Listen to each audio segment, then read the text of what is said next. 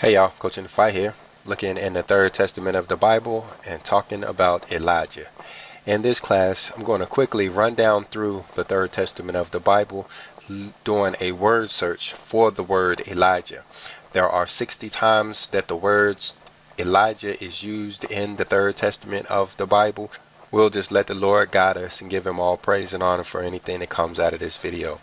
Alright, so we're going to jump right into it. Now, this is the third testament of the Bible, and the first time we see the word Elijah mentioned is down in chapter 2.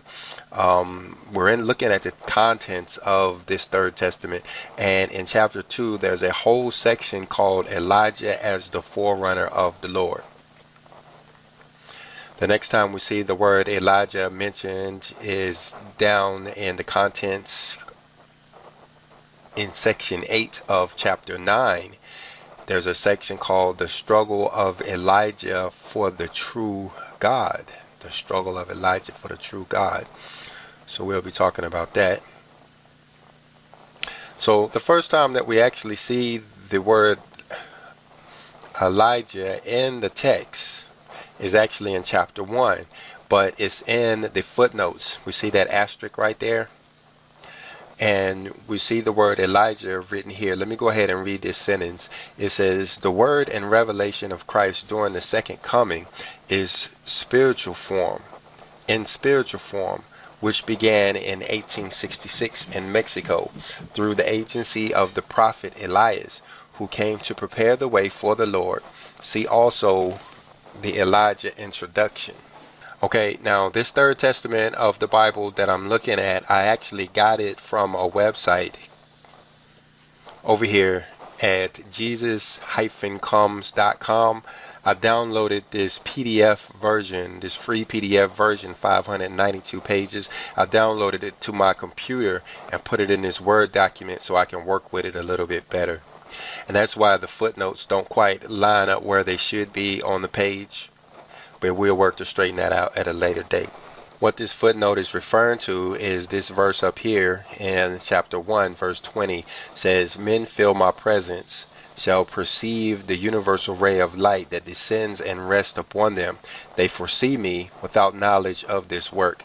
This is talking about how a lot of individuals, maybe yourself included, um, are getting divine inspirations these days. A lot of times when the people hear about the third testament of the Bible, a lot of comments people say, "I already knew that." Um, I, I already heard that what what you reading in that Bible. It always reminds me of lyrics that Rakim put in a song. He said, "Some things that I know will be in your next Bible." I often want to use that song in some of my videos, but I don't for copyright laws and because all of you guys might not like Rakim. But it's true what he said for a lot of people. Some of the things that these people know are actually turning up in this third testament of the Bible, and that's because the Father is giving it to them by divine inspiration directly. Now, there's a lot of important nuggets here in this part of the third testament of the Bible is footnotes. It's actually man's words. It's not actually a part of the scriptural text. It's kind of something that man added, but it's worth mentioning because it refers to the fact of how this third testament of the Bible is in fact the second coming of Christ. Now, that may be a little hard for some of you guys to swallow, but you have to remember that the Messiah was the Word made flesh. He is the Word made flesh. And when you jump over there in Revelations, it tells you that He will return as the Word. His name will be the Word of God. And so we should be looking for Him to come back in the Word of God when we're looking for Him in the second coming.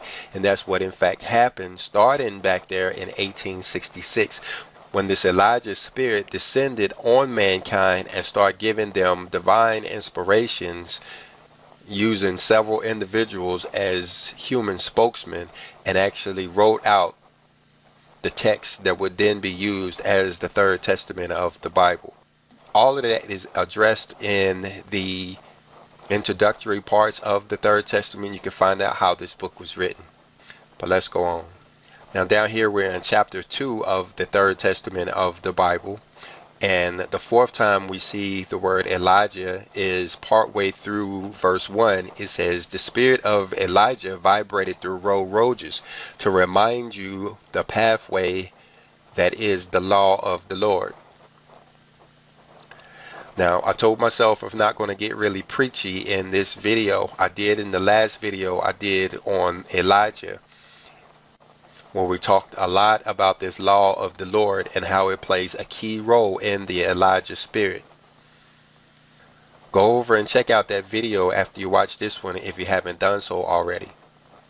But in this verse, what I want to talk about is how it says Elijah vibrated through Ro Roges.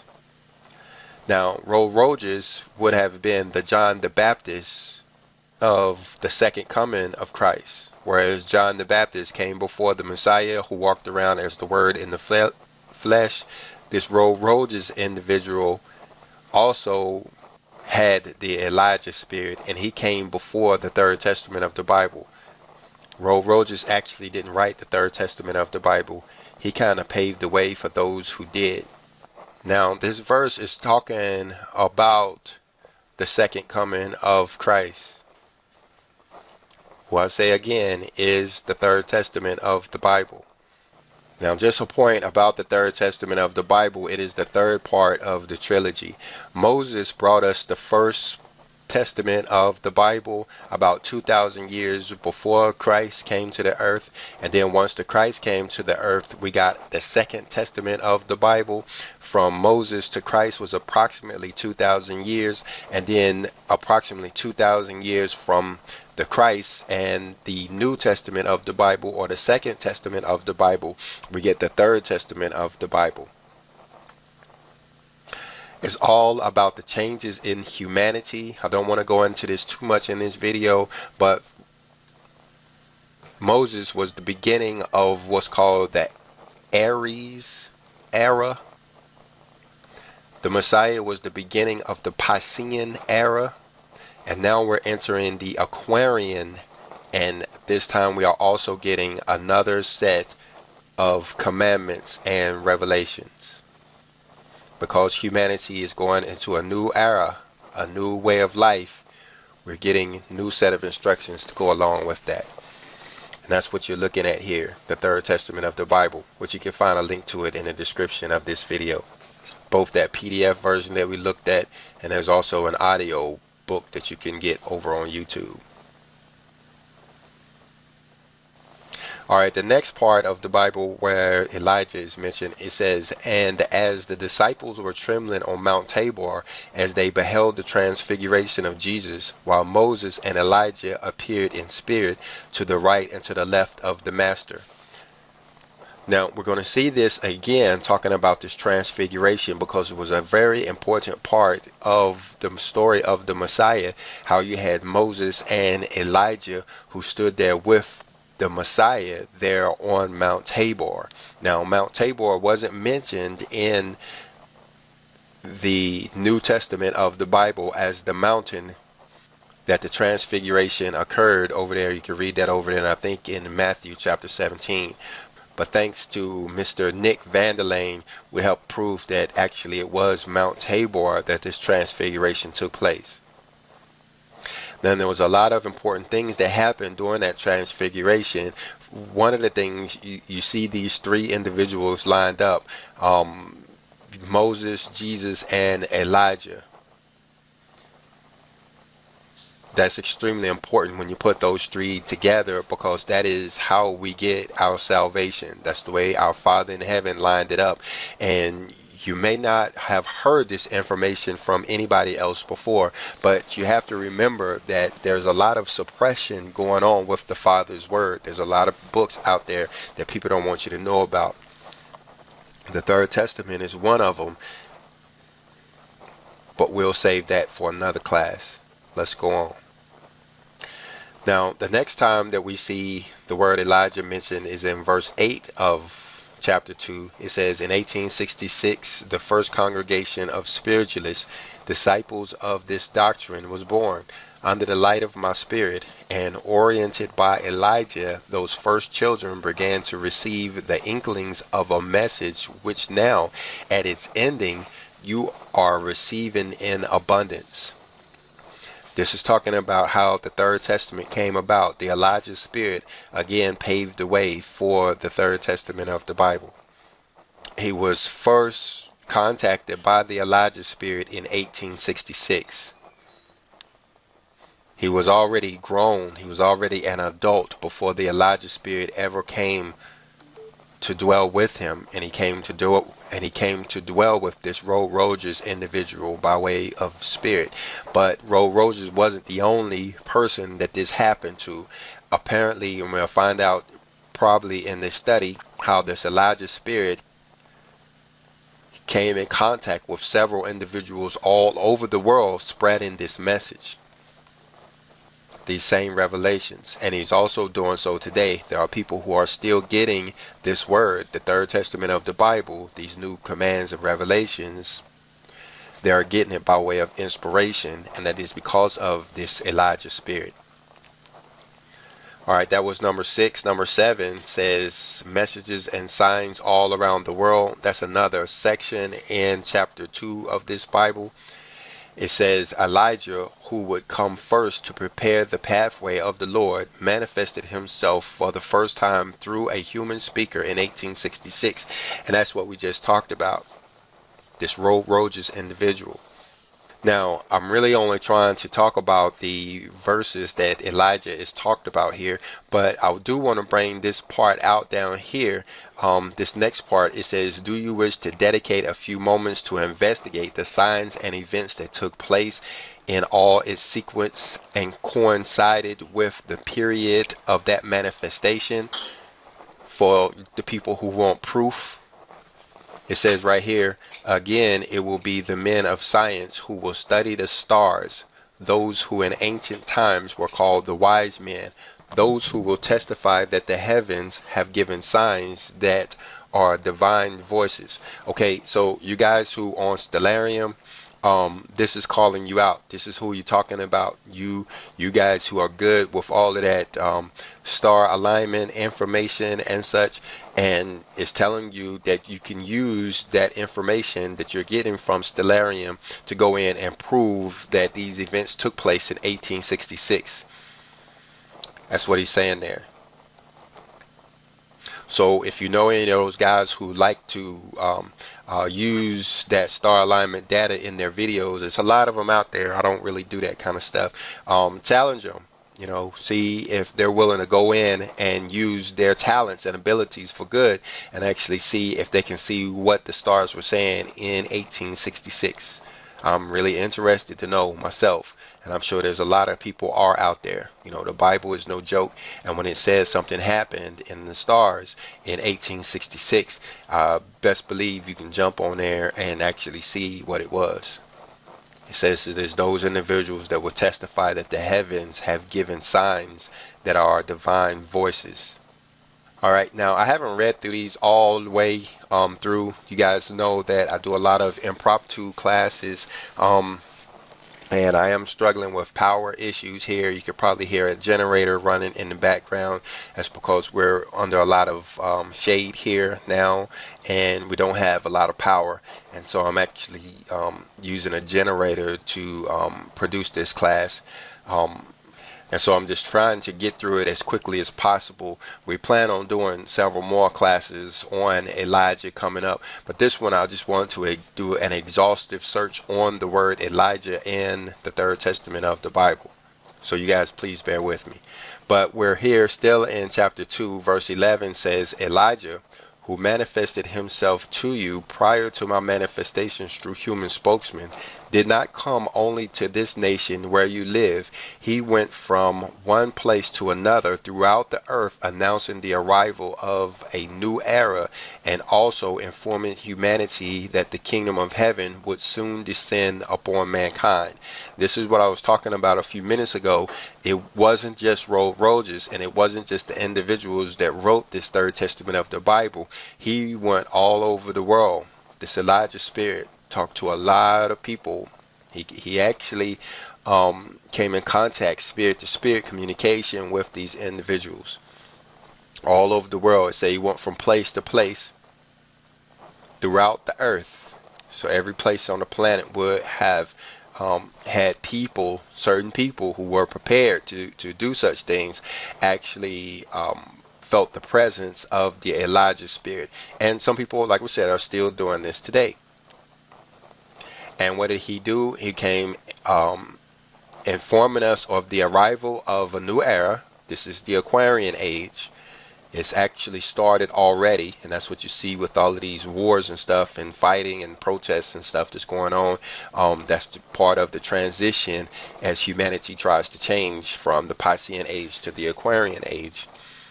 And he was also informing humanity that the kingdom of heaven would soon descend upon mankind soon descend upon mankind. And I said I didn't want to get too preachy in this class, but I do want to point out how it's saying that the kingdom of heaven will descend, is coming down here to earth, guys. It's coming down here. This is what a lot of people refer to as the rapture. People refer to it as the third temple of the Bible. Um, this is the great awakening that is about to take place in humanity. There was a toss up you know whether I would do this class on Elijah today or whether I was going to do a class on um, when these events would take place using uh, Daniel chapter 12 and 2 Kings chapter 25 to show you uh, when these events, when is the early dates for these events to take place. I have done one video on it um, and I will do another video in the future on when I believe the scripture is showing us these events will take place. Uh, early date, you know, early date on when they will take place. I'll show you that. If we have enough time, I may go into it at the end of this video. All right, I'm putting a lot of these verses up on the screen, guys. Um, if you want, you can slow it down and you can read it. Or, like I said, you, you can get links to this Third Testament and you can actually go get it and read it for yourself. You can jump on that website over there, um, JesusComes.com, and put in the word Elijah, and you can do the same thing that I'm doing here. All right, number eight is um, the heading in chapter two Elijah as the forerunner of the Lord. Forerunner, he's always the forerunner. Uh, verse 26 says, I sent Elijah to return in the third era as I, as the master in that second era had announced, saying, I say unto you, Elijah has come already, and they knew him not. Okay, this is always the case Every time the Messiah comes, every time we have the, the presence of the Elijah spirit. Now, he was in John the Baptist back then. There's nothing and no way we can tell if John the Baptist was the only individual that had this Elijah spirit. But we do know now that there are several individuals who already have the Elijah spirit. And if we continue on in this video, we're going to find out that this Elijah spirit is actually going to dwell in a lot of us. A lot of us are going to get this Elijah spirit too. Uh, again, that's you know it's going to happen sometime around the rapture if not it is if if if not to be the rapture event when this elijah spirit comes and and starts to dwell with us I shall return to the world, but truly I tell you, before me shall be Elijah. Okay, that's his job. He comes to pave the way for the Messiah, for the Father, for the kingdom of, of heaven, for the new era. He's bringing in the new era this time. Verse 27 says, And all the words of the Master came to pass in the third era Elijah has come before me to awaken the spirits, to make them foresee that the hour of the Holy Spirit shall open their doors, to say to every spirit to open his eyes, to prepare his garments, to pass the threshold from the second era to the third era. Okay, this is this is what Elijah's doing. He's bringing in the kingdom of heaven This is why he's making contact with so many individuals out here.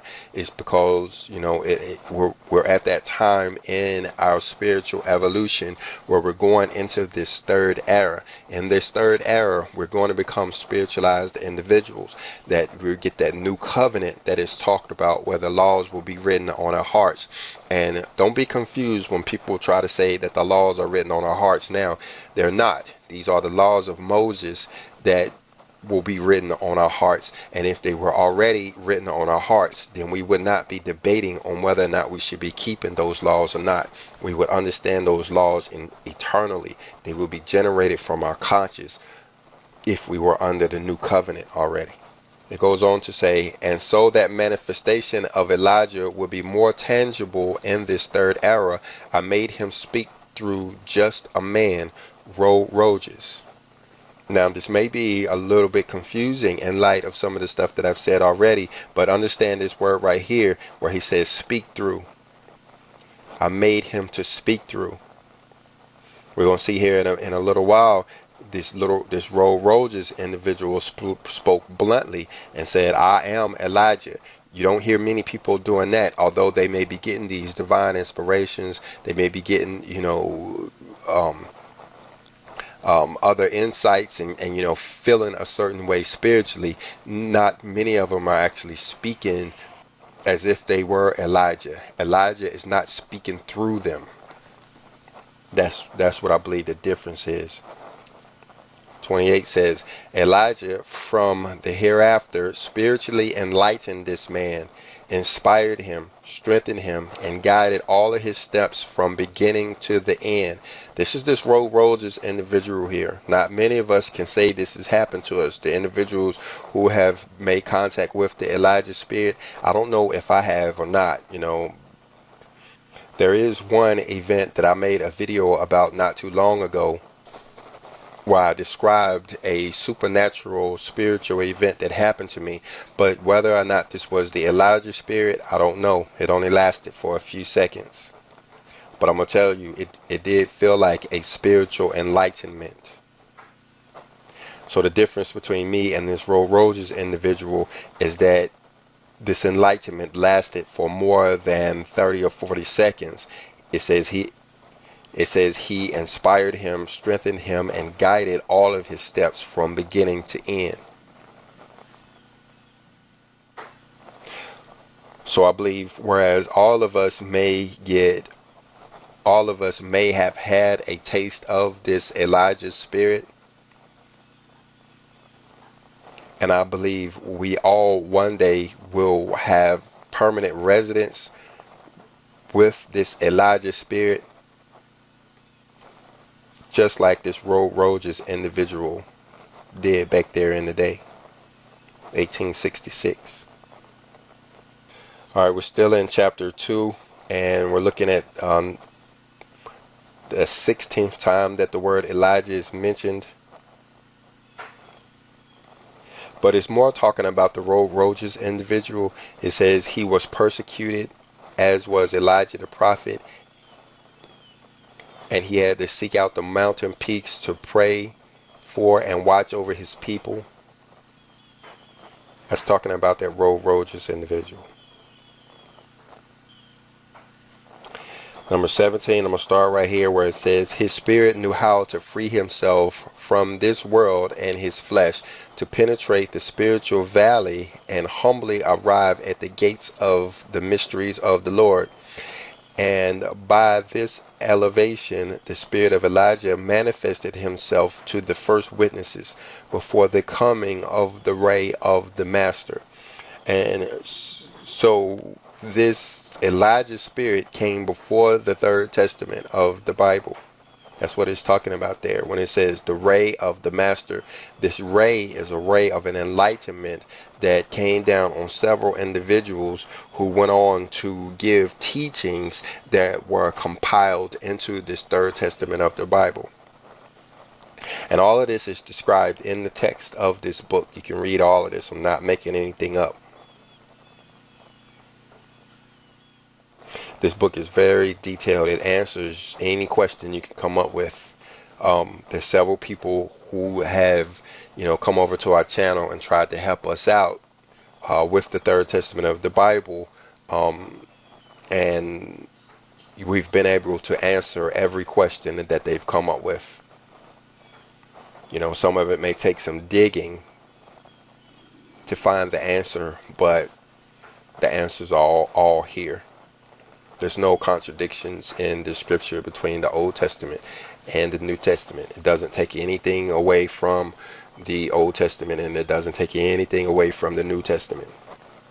However, it does add a lot of understanding, a lot of spirituality, a lot of revelations. This is a very powerful book. Talking about the third testament of the Bible.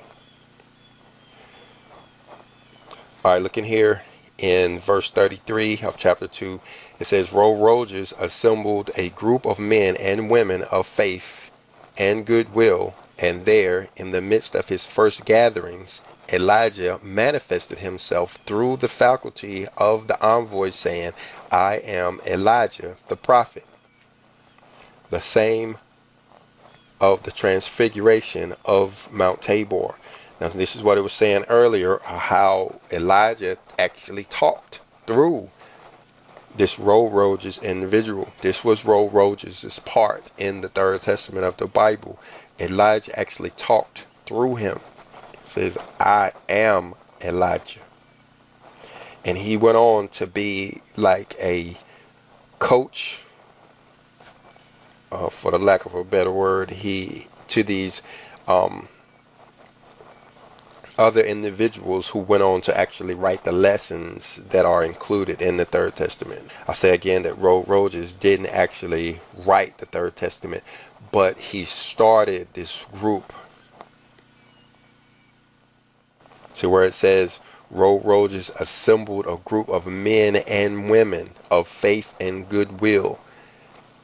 He kind of, you know, he had this Elijah spirit and as the people were listening to him in this community, they, you know, when they started to hear these truths coming out of the mouth of this Rogers individual, they started to put a lot of faith in what he was saying, and they started to adhere to his teachings and what he was saying as far as preparing preparing them in the spirit. And so they went on to actually um, get this divine rays, these rays of inspiration to where they was actually able to give the teachings to write the third testament of the Bible. They actually wrote a book called The Great Book, which is a very huge, huge, huge book that took them several years to write, even decades to write, um, probably from about 18 84 up to about 1950 they was getting these teachings. And the thing about these teachings a lot of them repeated themselves. And so they ended up taking them and compiling them into this book what you call the third testament of the bible. But you can find several um, uh, lessons from that book over there. That's what these numbers refer to. Um, this part that is that's talked about up here came out of lesson 345 and um, verses 57 through 58. But to let you know how big this book is, um, you know how much I like to read the Word of God.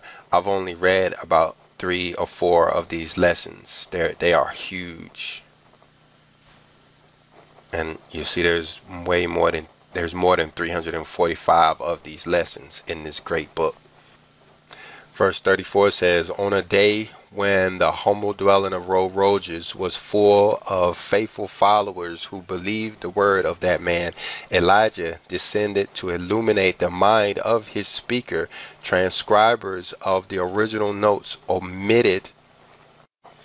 Let me come over here. Like I said, this is a Word document, and I'm not really sure what's going on over here. So let me let me jump over here and see how this is actually written over here. Okay, so we're looking over here, and sorry to have to brighten up your screen like this, um, but you can see right there that was actually a footnote down in there, you got the words right here. Um, illuminated the mind, illuminated the mind of the speaker, and then it goes on to these footnotes down here. And then it was supposed to say, and inspired by me. Okay, I'm gonna leave it like that. Um, have to figure out some way to straighten it out later on. Like I said, this is a Word document, and at one point I was thinking of rewriting this book and straightening out some of the errors in it, and I may still do that. It's so hard to get a um, paperback or a hardback copy of this book, and so we may end up having to print it off ourselves.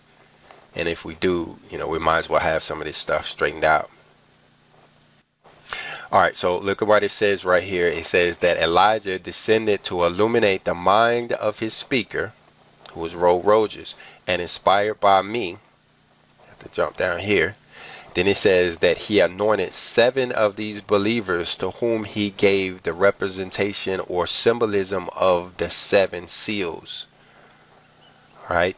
So then you're going to get on into this Damiana Oviedo individual.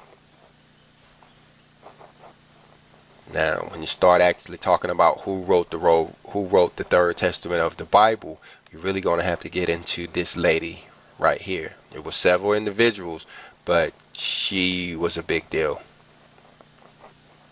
But anyway, we're talking about Elijah. All right, still in chapter 2, uh, verse 38 says, Elijah, like Jesus and Moses, came to illuminate the eyes of your spirit so that you would behold the Father. Okay, this is what they mean when they say the third Elijah. This Elijah figure is extremely important. Now you look right here, it says, Moses taught you to love your fellow man as thyself. Jesus said to you, Love one another. Elijah ordered you to have charity and more charity towards your brethren. Then he added, And you will behold my Father in all of his splendor. Now, like I said, I don't want to get real preachy in here, but you know, pay attention to what it's saying right here. Moses taught us to love our fellow man. Before Moses came, there was a lot of killing going on in the world. Even after Moses, because once we got that document, the Old Testament or the Torah, um, we were taught to stop killing people.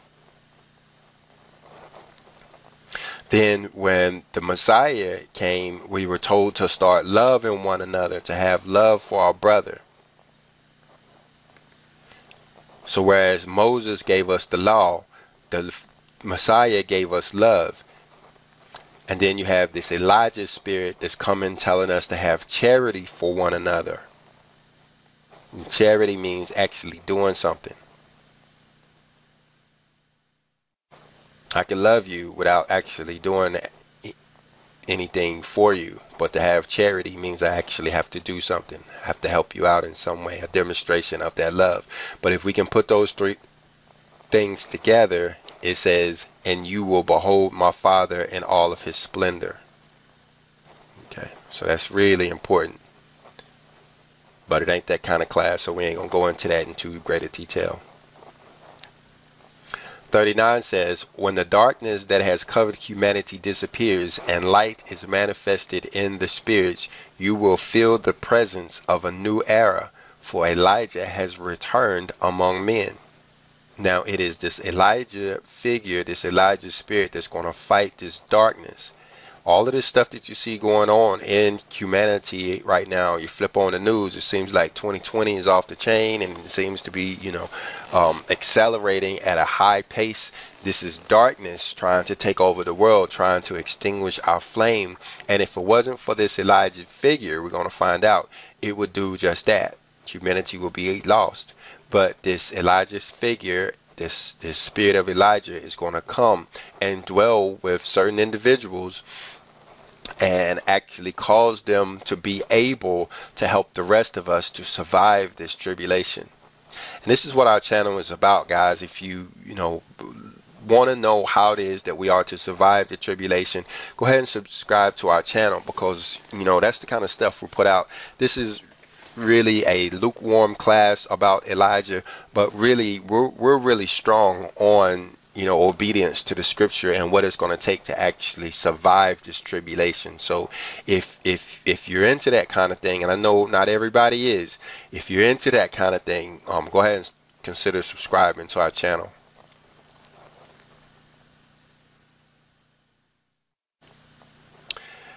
Let me go ahead and read verse 40 it says but since they have not known how to see him, it has been necessary that he manifest his spirit through a human spokesman and that he appears before those who are unable to perceive him spiritually.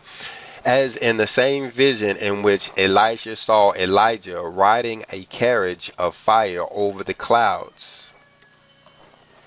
And this is going back to um, the first time that Elijah is mentioned in the Bible over there in one of the books of Kings when he was um, going up against Jezebel and King Ahab and those guys. You're probably already familiar with that story if you're familiar with the King James Version or if you're familiar with the Old Testament of the Bible. Verse 41 says, Elijah has come as a forerunner in this time to prepare mankind for my arrival. He has come as a prophet to announce the new era to you with its battles, its trials, and also with the wisdom of his revelations. See, this is what we see going on now is the battles and the trials. And they're going to get worse, guys. We're only in the early parts of it. You know, a lot of people believe that the tribulation hasn't even started yet. You know, this what we're seeing now is just the beginning of sorrows. The beginning of sorrows is where we're at now.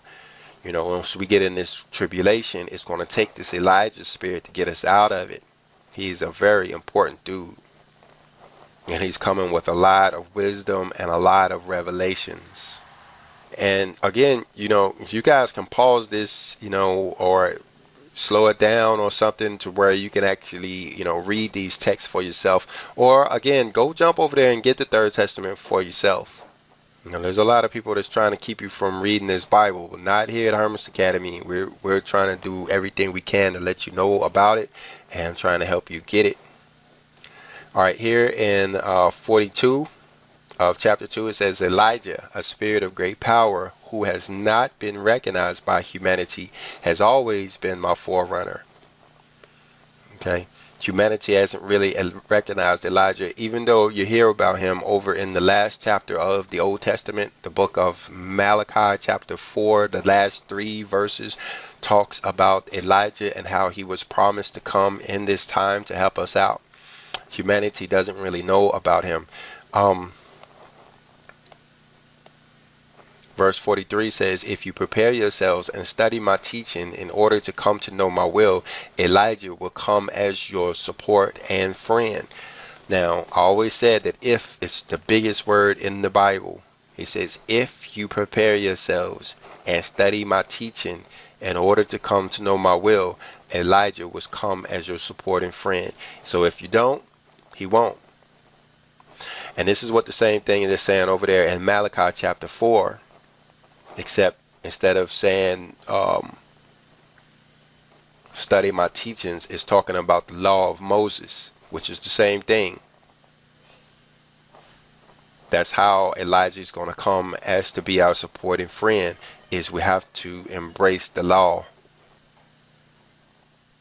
44 says Elijah is a divine ray who illuminates and guides all beings and leads them to me. Okay, again, that's exactly what Malachi chapter 4 says is that Elijah is going to bring us to him. It says, Love and honor him as a forerunner and as your mediator. So Elijah is going to be our go between between us and the Messiah, us and the Father.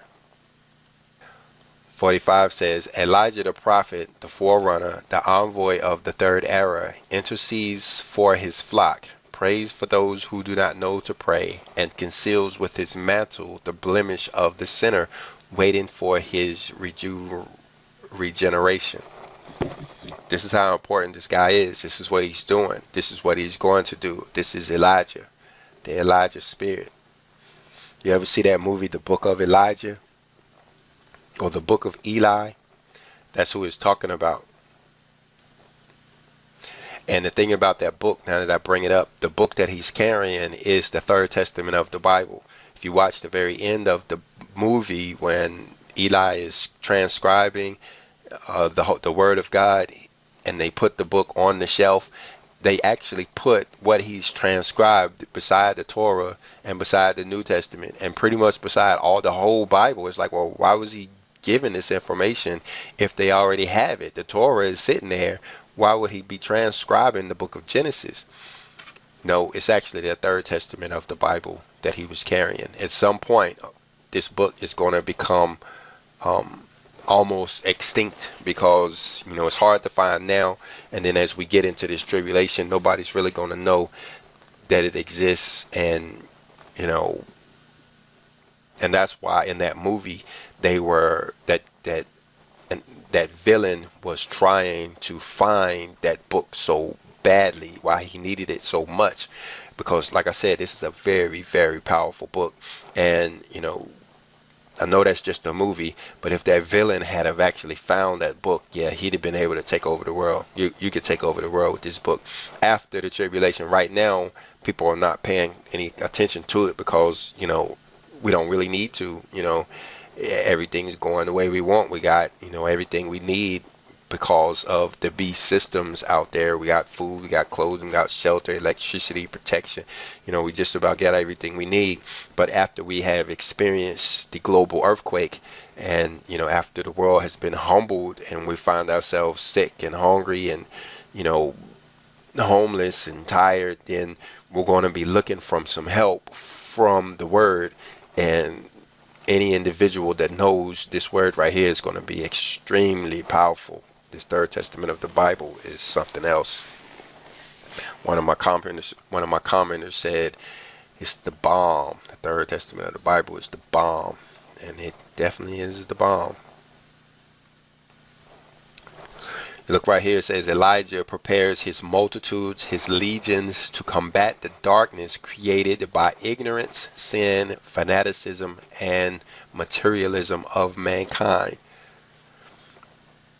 So this Elijah spirit, this is the spirit of a man, but he comes to prepare multitudes, many, many people, his legions. That's a lot of people not just one person. It's not going to be one individual walking around.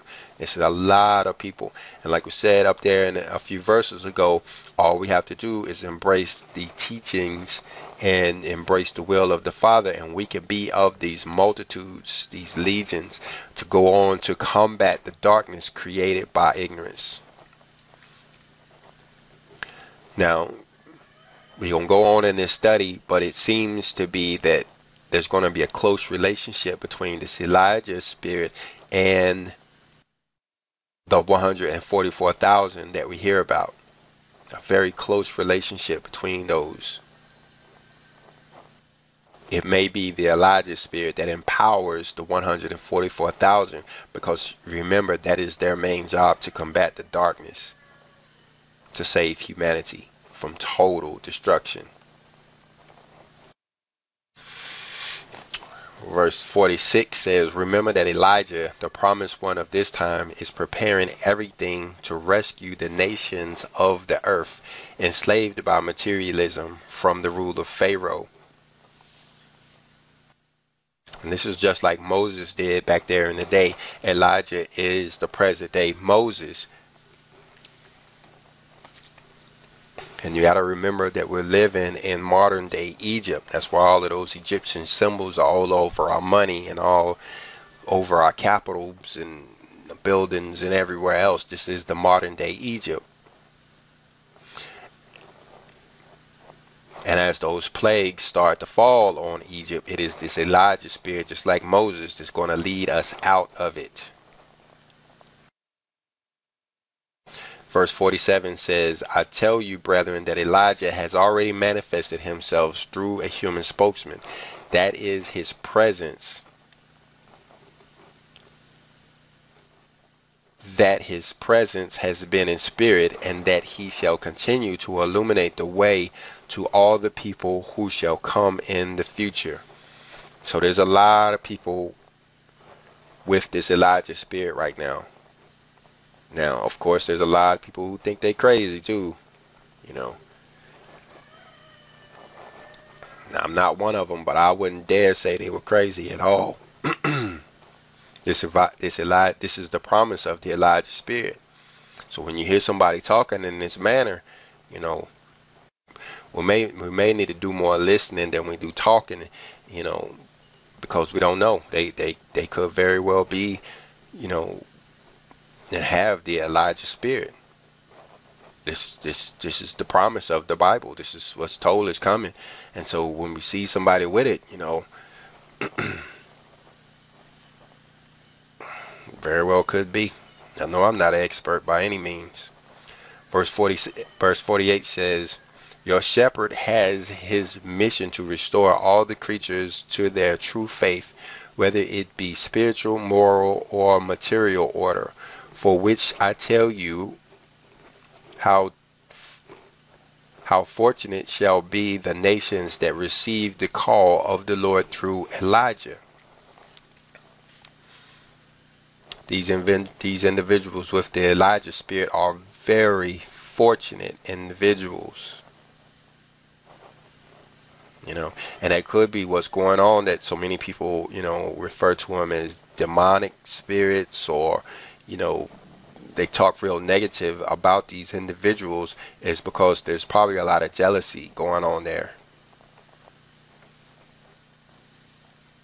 these individuals are very fortunate to have this Elijah spirit thus they shall be united by the law of justice and love, which shall bring them peace as the fruit of their understanding and brotherhood. Notice that part, it says united by the law. Again, we teach that on our channel. All right, we're at the end of chapter 2. The last verse says, Elijah is the ray of God whose light comes to dissipate the darkness and liberate you from the slavery of this time, which is sin, and who will guide your spirit through the desert until you arrive at the promised land in the bosom of God. So, see right here, Elijah is the ray of God, ray of God.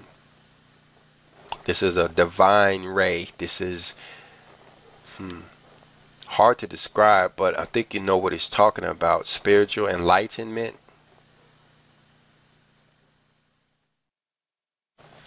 Whose light comes to dissipate the darkness, liberate you from the slavery of this time, liberate liberate you from the slavery of this time and the slavery of this time is sin. And what is sin? Sin is the transgression of the law.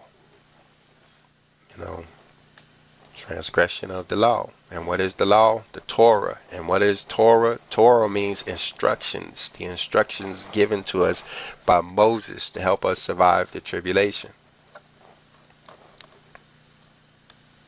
And by breaking those instructions, we find ourselves in slavery. And that's why a lot of people don't want you to know about the word because of just this. If you keep the law, they can't keep you in slavery, which is a threat to our economic systems of the world. This is why they want to hide books from you in the first place. If they can keep you in a state of sin, they can keep you as slaves. And we are all slaves. Don't don't get it mixed up. You know, the Father never intended for us to go out and work for another man at all. We were supposed to serve Him. But because of sin, the transgression of the law, now we need the beast systems for our food, clothing, and shelter. We are totally dependent on the beast for our livelihood. And thereby we are enslaved. We are slaves to that beast. Now we've already covered 34 hits out of the Third Testament. 34 out of 60, and we're all the way up here to 35, which is in chapter 8 of the Third Testament of the Bible. And it's really getting important in what it's talking about here because it's referring to the rapture, it's referring to the new covenant, it's referring to the new millennium age that we're going into as we're looking at this part here, this lesson here out of chapter 8. You see up here where it says, the times when you needed a spiritual guide in this world have passed. This is talking about the new covenant here. It says, From this time forward, all who enter into this path will have no other road but that of my law, and no other guide than their conscience. This is the new covenant. This is what we're expecting. This is the rapture, guys. This is where we're going, where we're going to have the laws written on our heart. This is what it means to have the laws written on our heart, is that our only guide will be our conscience. There's so many people that's about to go away off this planet, guys, that, you know, we really won't have a lot of people to depend on. The only thing we're going to have to depend on for our survival survival is our conscience. And, you know, that conscience will then have the laws written on it. He says, This does not mean that there will cease to be men and women of great light and strength. Verse 95 says, If it were not so, I would have sent to earth spirits like Moses and Elijah to trace the road for you and remind you of the law on every step. Talking about Elijah. So this is telling us how it's going to be in the millennial age. There's still going to be individuals who will give aid through their example and with their inspiration of the multitudes. If this were not the case, then we would have to have Elijah spirits from now on. They would have to keep coming. But no, the Elijah Spirit is going to help us get through the tribulation and pretty much turn us over to the conscious as humanity goes forward from then on. Now, the next time we see the word Elijah, we're starting in chapter 9, which is story, stories and percentages of the people of Israel and he had this section called the struggle of Elijah for the true God. Verse 40 says, In the first era, Elijah came to earth and found that humanity was practicing idolatry and did not believe in God. So this is talking about the first time that we hear about the Elijah spirit way back over in the books of Kings when he was going up against King Ahab and Jezebel and the world was all into idolatry. It says how we were governed by kings and priests who both had departed from the obedience of the divine laws by then. So the kings were off track and the priests were off track, all into idolatry, guiding their people along paths of confusion and falsehood. And, you know, this is going on now, guys. You know, they've gotten away from the divine laws. You know, we teach in our churches that we're not supposed to be obedient to the law. There's some teach, there's some churches that go as far as to say if you are obedient to the laws, then you are turning your back on Jesus. You have no faith in Jesus because you are obedient to the laws of the Bible. That's confusion and falsehood. It says Elijah appeared in that time and spoke to them with words of justice, telling mankind, Open your eyes and see that you have disrespected the law of the Lord. And this is what Elijah is going to do now, too. Tell us how we have disrespected the law of the Lord.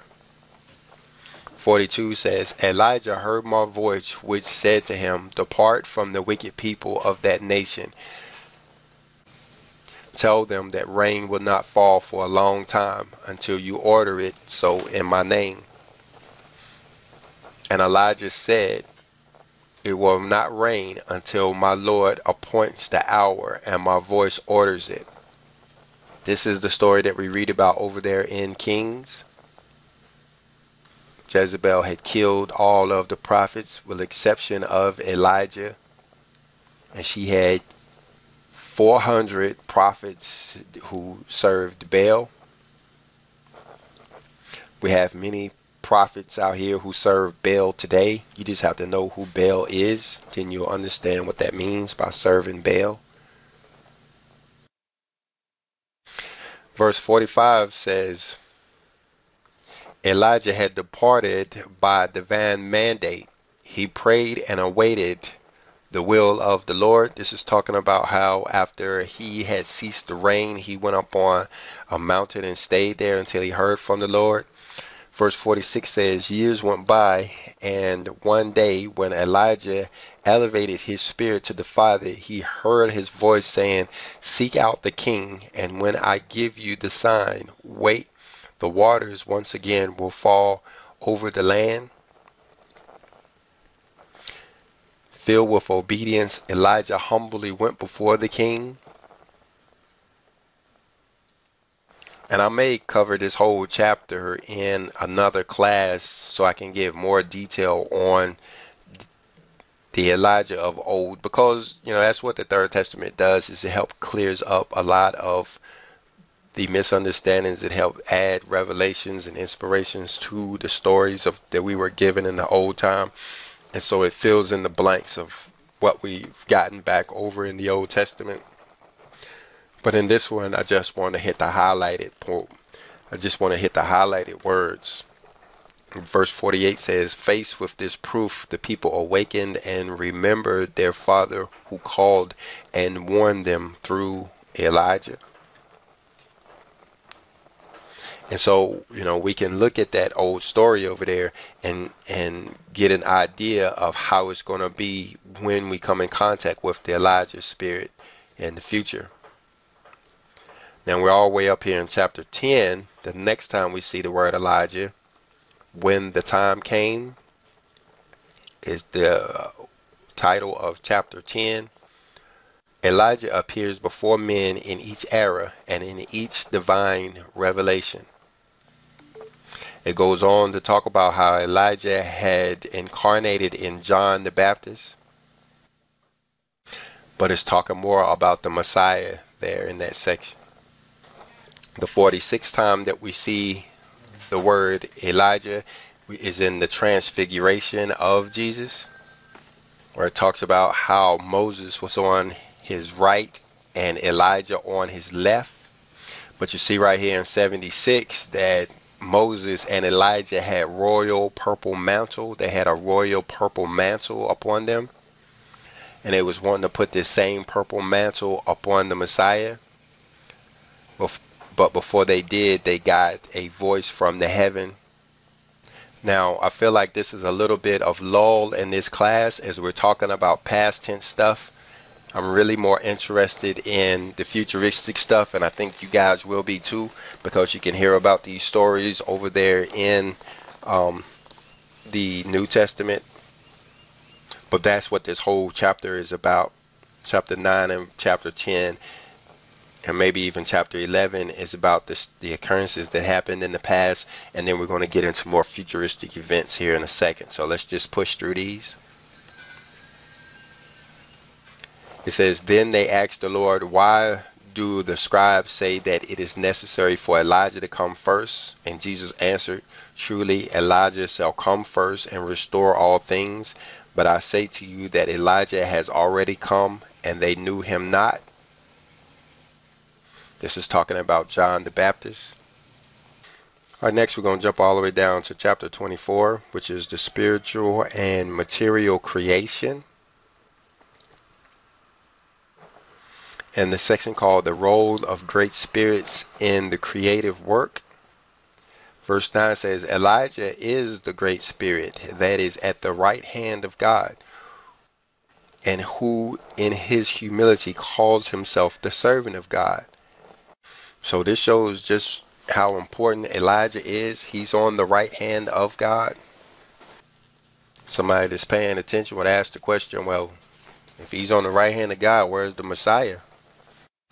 It says, and through whose conduit and through the conduits of other great spirits, I move the spiritual universe and carry out great and elevated designs. Yes, my disciples, in my service I have a multitude of great spirits in that direct creation. And see, we have to understand and see, I believe the main message here is reminding us that our Father doesn't play every role. He has a lot of great spirits that's out here helping us, including the archangels. You know, there's a lot of spiritual individuals involved in his work, this creative work, creation of humanity. Verse 43 says, Elijah is the greatest of the prophets that have come to the earth, and in spite of the great work that he did and the great trials that he experienced, he had to return to the world in another time, in another material form, and with another name. This is down here in chapter 30, which is the, the development of the spirit through reincarnation. Reincarnation. Now, there's a lot of people that, you know, get wrapped around the axle when you start talking about reincarnation and it is no accident because of that. And that is no accident because our scripture was actually changed by some of those Catholic forefathers went in and literally removed the word reincarnation from the Bibles and replaced it with the word resurrection. And so, whereas now everybody is expecting dead bodies to come up out of the ground in some type of zombie apocalypse. The scripture was actually talking about res re the scripture was actually saying reincarnation, meaning that our spirits will be reborn in other individuals. And and that's what it's talking about here when it's talking about Elijah. Elijah, even though he was the greatest of the spirits, he still had to be reincarnated to finish his work. Now down here in chapter 38, which is the three which is the three divine revelations and the seven seals. This scripture actually tells us of the seven seals and what they are. We've done classes on these recently on the seven seals. If you want to know which seal we're in, I believe it's actually going to tell us here, though, talking about Elijah. This section is the three testaments of God. It go it gives a lot of detail on why we have a third testament in the first place. It says Moses, Jesus, and Elijah. There is the road the Lord has marked to help men elevate themselves to the kingdom of peace, light, and perfection that shows the importance of Elijah. That's why they call him the third Elijah. You could call him the third Jesus. You could call him the third Moses. It says, This is the road that has been marked to help men elevate themselves to the kingdom of peace. Moses gave us the law. Jesus gave us love. Elijah is the one that's going to give us spirit. Down here it says, analyze the teaching of Jesus through whom the divine word spoke, and seek the spiritual essence of my new revelation, whose era is represented by Elijah. Elijah is a big deal, guys. He's important to our spiritual walk. He's important to our salvation if we understand what the word saved means. All right, getting back into some more exciting stuff right here in chapter 38 verse 49 said the sixth seal says the sixth stage is represented by Elijah. He is the symbol of the Holy Spirit. All right. So this is letting us know that we are in the sixth seal. Like I said, this chapter of the book explains the seals, what they are, when they occurred, how they occurred. Clears up a lot of confusion. You know, the only people that would actually want to reject this idea of this lesson of these six seals who you know are people who have committed to their own understanding of the six seals and they don't really want to get rid of that. They don't want to change. They don't want to embrace the truth. And you know as ministers we have to always be willing to do this because you know the the, the father doesn't give everybody all of the information at one time. He he kind of gives it to us over time. We get a little bit here and then we come back later and we learn a little bit more and we come back later and we learn a little bit more. We always have to be willing to embrace the truth and put away um, what we thought we knew in the past. That's why you'll find my class a little bit more fluid than others, is because I'll change on a dime. When I see scripture that corrects a misunderstanding that I had, I'll immediately forget that misunderstanding and I'll start speaking the truth as if I've been talking that way the whole time. I, I ain't married to no idea. You know, if I don't see it written in black and white, then, you know, it's just an idea. But once I see it written in black and white, I'm going to go with what the scripture says. No matter what I understood before then. And so now we understand what the six seals are. It says, This is the stage in which you are living, that is of Elijah. It is his light that illuminates you. He represents the teachings that were hidden but that are being revealed to mankind in this era. And see, this is what Daniel was referred to when he said that knowledge will increase. And this is why we can't go by a lot of the doctrines that we've learned in the past because those people just didn't know. The Bible always said that knowledge will increase in this time, in the tribulation time. In the end times, knowledge will increase. And so you got to be really expecting people of this time to be coming up with a lot more truths that were veiled to those individual people even a hundred years ago. People like Clarence Larkin didn't really need information like we do today. Clarence Larkin is dead and gone, and he doesn't have to live through the tribulation. No, it is this generation, it is us who has a great need for this information, and it is us that Elijah is bestowing this illumination onto. Should be clear, real easy to understand that. All right, here in chapter 54 which is struggles between doctrines, religion, and churches. It's I'm like I said, this book is really, really deep, guys. You know, and you know, hear me saying a lot of stuff, but you know, much of what you hear me say that you aren't used to hearing is because you know I'm getting a lot of information from this book. It goes into great detail on stuff like doctrines, religions, and churches. You know, But as part of the verse says, and when the struggle is at its height, and the poor are humiliated, and their testimony is denied by the arrogant, then shall the moment, then shall be the moment when Elijah calls the wise, the lords and the princes, and puts them to a test. This is a huge verse right here, guys. A lot going on in this verse, talking about the timing of the Elijah spirit. It says, when the struggle is at its height and the poor are humiliated. And that's the people who are out here trying to teach truth are humiliated. The people who want to teach lies, they're exalted right now. Guys, they got big churches, big mega churches. You know, they're exalted big time. But watch what happens. It says once the once the the poor are humiliated and their testimonies denied. These people who are trying to tell the truth, once their testimonies are denied by the arrogant, those arrogant individuals out there having their way, he says, that shall be the moment when Elijah calls the wise. who are the wise? The ones who keep the law. That's when he calls the wise. You can find out that over in uh, Daniel when he's when Daniel says uh, talks about the wicked versus the wise. We find out the wicked are the transgressors of the law, and so the wise will be the opposite of the transgressors of the law, those who keep the law.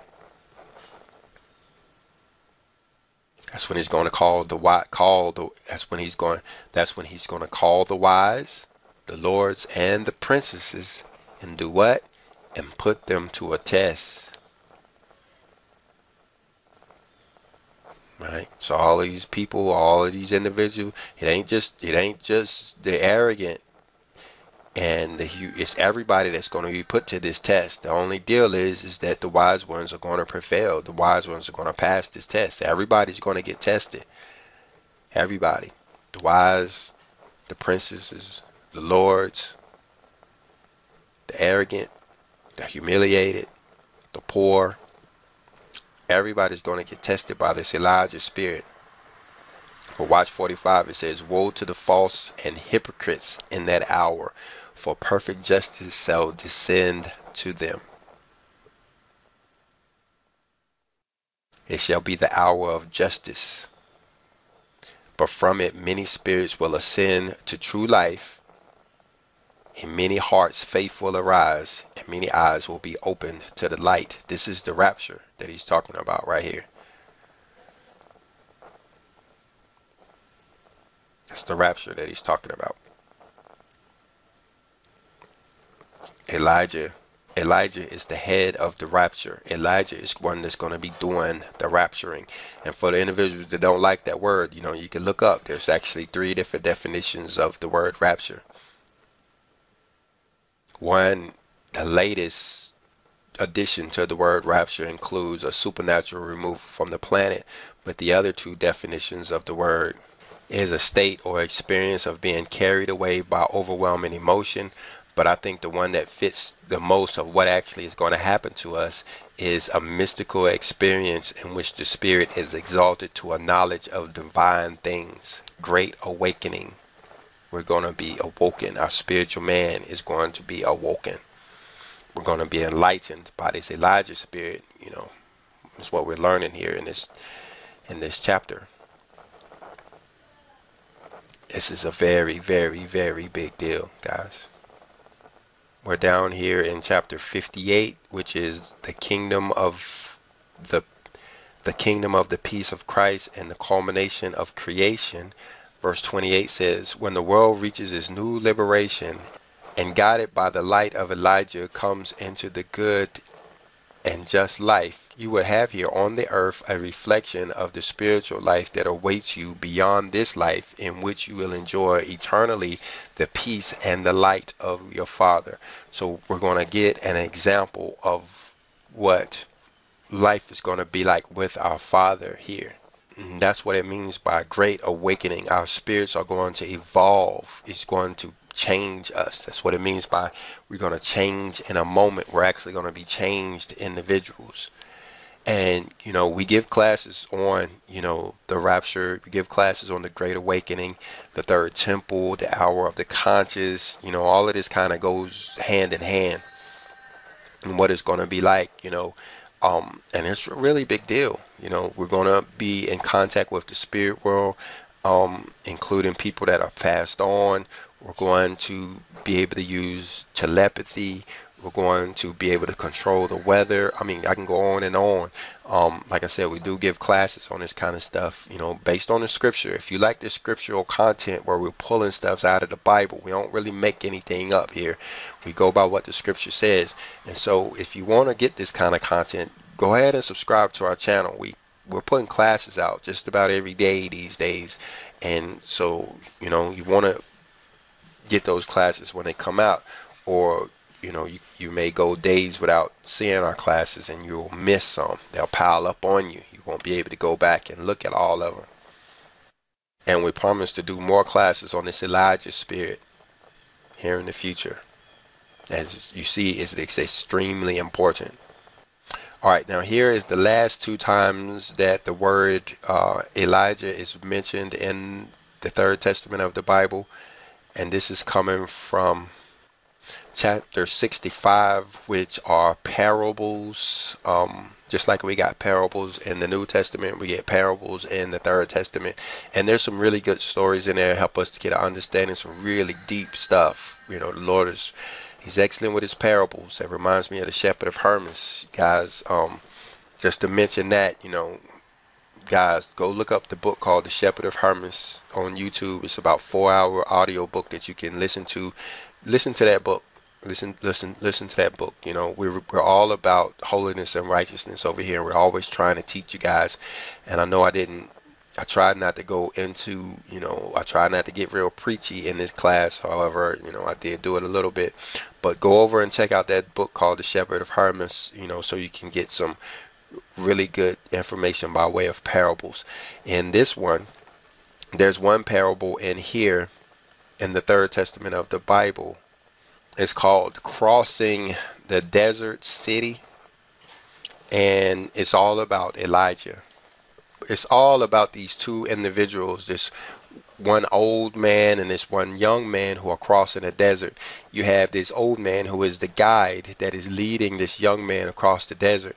And when they come to a oasis, the young man wants to stay at the oasis while the old man wants to keep on going to the great city that they, they were both intending to go to at one point.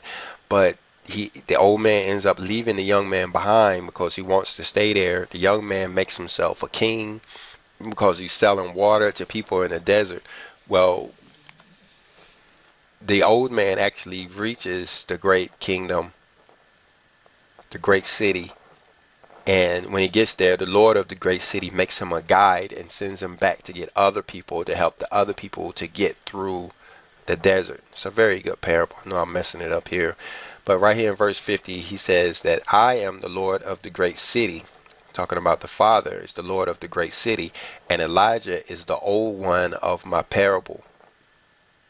He is the voice of one crying in the wilderness. 51 says, Follow Elijah, O my beloved people, and everything will change in your life and will be transformed in your worship and ideas. So that's important, guys. We need to follow this Elijah. So to wrap this up, we've learned how it is that we can embrace this Elijah figure. We've gotten some information on when we are expecting him to show up, and we definitely got information on how he's going to show up and where and who. Um, we are going to give more classes on this Elijah spirit individual. Um, we're going to go into the apocalypse of Elijah. That's another book you guys could check out. Um, we did a, a reading of the apocalypse of Elijah. You could check out. It's the most popular video on our channel still. Um, called The Apocalypse of Elijah, and we're going to jump in some other books and look at the Apocalypse of Elijah here in the future. All right, guys, I hope you got something out of this video. If you did, go ahead and hit the like button. Please leave a, leave a comment if you haven't done so already. Hit that subscribe button so you can get future classes when they come out. And pray for us. Shalom.